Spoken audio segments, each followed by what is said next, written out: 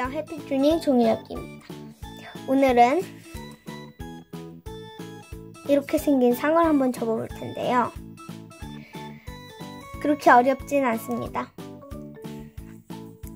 자, 먼저 종이를 십자가 모양으로 접어주세요.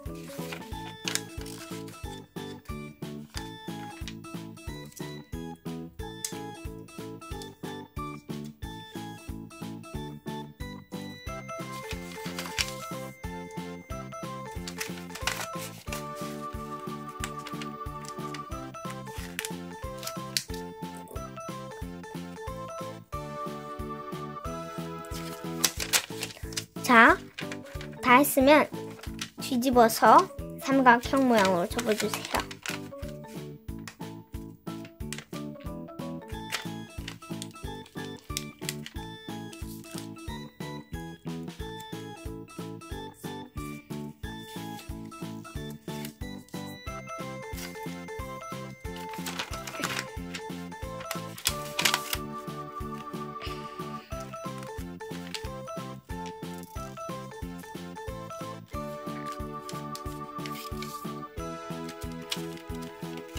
자, 다 접었으면 뒤집어서 가운데 부분을 눌러주세요.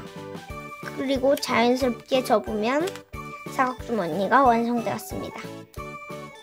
그 다음에 여기 앞부분을 위로 접어주세요.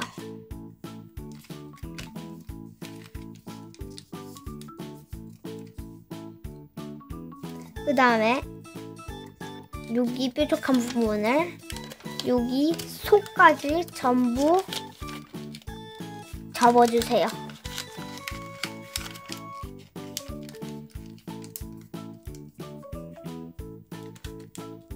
반대쪽도 똑같이 해주세요.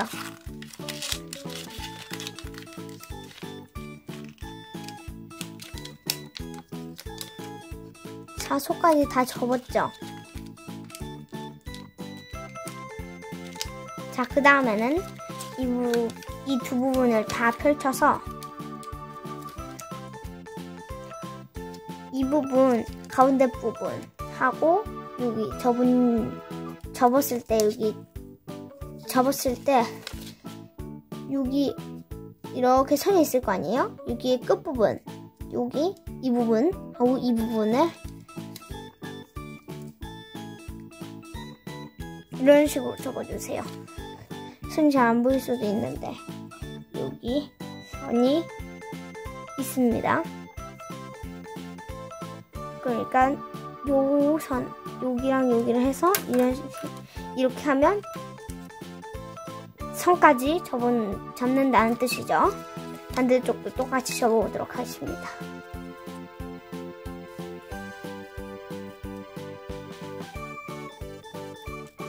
자, 그 다음에 펼쳐서 주세요. 그 다음에 아까 접은 부분을 속으로 집어넣어 주세요.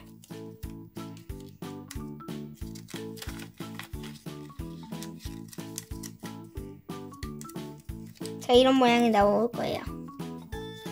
그 다음에 이 등지러미를 접어줄 건데요. 등지러미를 접는 방법은 바로 토끼기 접기입니다. 이렇게 이렇게 이렇게 접는 방법이죠.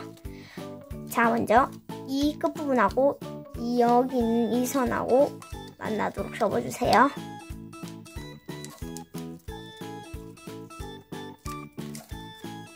자 펼쳐서 반대쪽으로도 이렇게 접고 이렇게 접어줄 거예요. 내 말은 여기를 어떻게 접고 여기를 어떻게 접는다는 뜻이 아니라 여기랑 여기가 만난다는 뜻입니다. 펼쳐서 두 개를 한꺼번에 접으면 손잡이 같은 게 생길 거예요. 이렇게. 그 다음에 한쪽으로 하고 한쪽으로 어딘가 놔두고 뒤집어서 끝까지 올려주세요. 여기도. 그 다음에 다시 그냥 뒤집어서 반으로 접어주세요.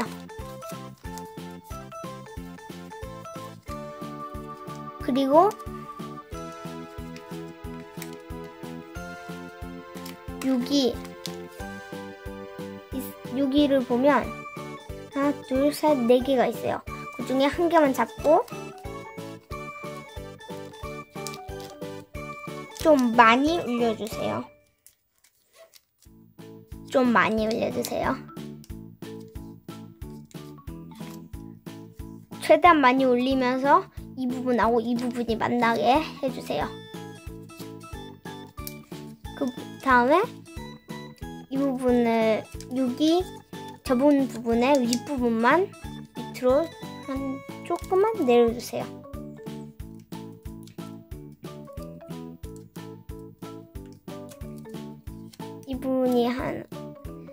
살짝 꺾일 정도로 너무 살짝 꺾일 정도로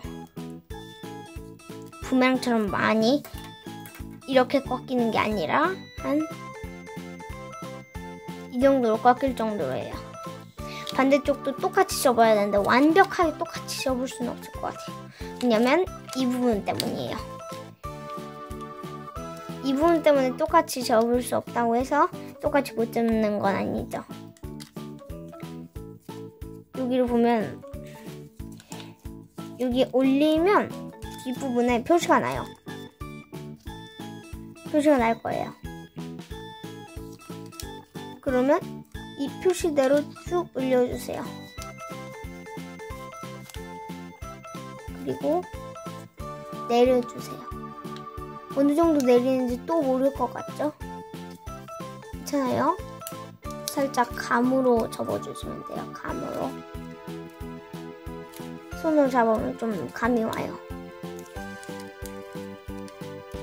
그 다음에 이제 단계 접기를 할 건데요. 어떻게 하냐면 여기를 이렇게 접어야 되는데 잘 안 보이네요. 확대 좀 할게요. 자, 여기서 이 부분과 이 부분이 만나도록 접어주고 그 다음에 펼쳐서 이렇게 자연스럽게 속으로 넣어주면 되는 겁니다. 반대쪽도 똑같이 접어주세요. 아니 반대쪽이 아니라 뒤쪽이네요. 쭉 넣어주세요. 그리고 뒤집어서 똑같이 해주세요. 이 부분과 이 부분이 만나도록 접어주세요. 자, 이런 모양이 되고 자연스럽게 쭉 자연스럽게 하고 이 부분도 식으로 자연스럽게 여기 자연스럽게 하기가 어려울 수도 있어요. 그냥 리듬 같은 것을 맞춰서 쭉 하면 돼요. 근데 살짝 여기가 너무 여기 비해서 너무 밑으로 내려간 것 같으니까 여기를 벌려서 살짝만 쭉, 쭉, 쭉쭉쭉 접어주세요. 그 다음에 살짝 드럽게 나올 수도 있어요. 잘못하면. 그냥 눌러주세요. 그 다음에. 자, 반대쪽도 똑같이 접어주세요.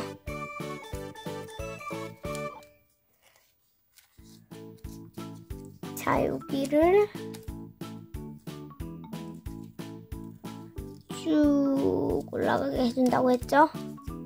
됐어요.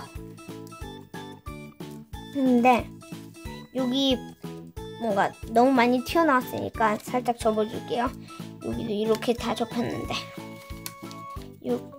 첫, 첫 번째는 이, 부, 이 부분을 여기에 맞게 접어주세요. 쭉. 이런 모양이 될 거예요. 그 다음에 안 보이게 여기서 이렇게 보면 튀어나오니까 여기서도 안 보이게 접어주면 접어주고 여기 선대로 다시 되돌아가게 만들어주세요. 반대쪽도 똑같이 접어주세요. 이렇게 접고 안 보이게 그 다음에 선을 기준으로 다시 접어요. 자 그리고 반을 접어주세요.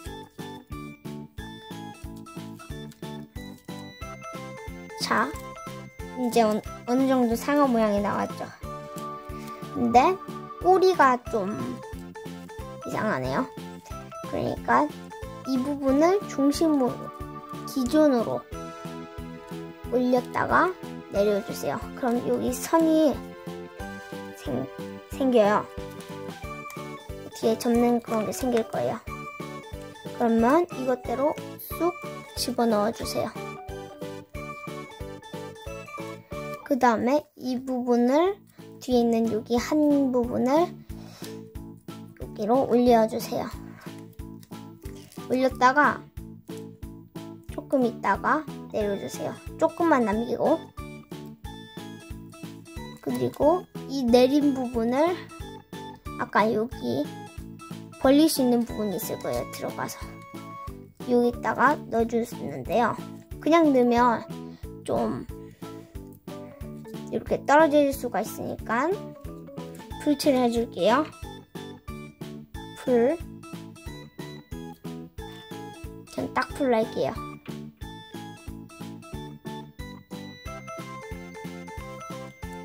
여기 그냥 전체에다가 다, 다 바르고 접기 전에 이 녀석을 쏙 들어가게 만든 다음에 접어서 꽉꽉 눌러주면 되는 거예요. 그리고 마를 때까지 기다려야죠. 그리고 또 입이 없어요. 입을 해줘야 되는데 아직 안 그렇게 많이 마르지가 않아서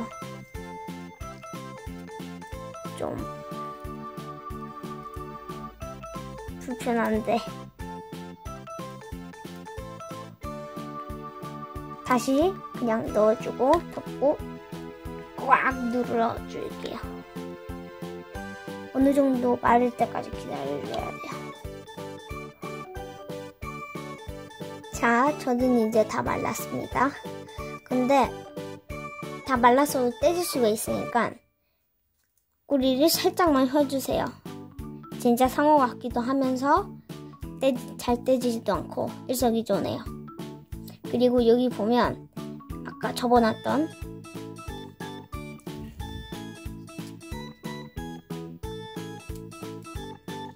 한 장이 있을 거예요.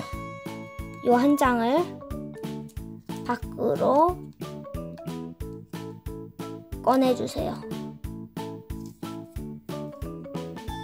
자, 이렇게 꺼내는데 좀 너무 많이 꺼낸 것 같으면, 같으면 살짝 넣어주고요. 너무 확대가지고. 그러네요. 자, 이제 다 완성했습니다. 여러분들 안녕히 계세요.